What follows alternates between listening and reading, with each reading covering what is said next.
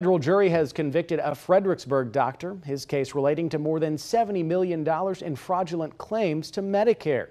According to the U.S. Department of Justice, 61 year old David Young was convicted of one count of conspiracy to commit health care fraud and three counts of false statements relating to health care matters.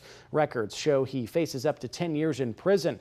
In a statement, the Department of Justice said Young prescribed braces and genetic tests for over 13,000 Medicare beneficiaries, many of whom he did not see, speak to, or otherwise treat. The DOJ says he did it through a telemarketing scheme.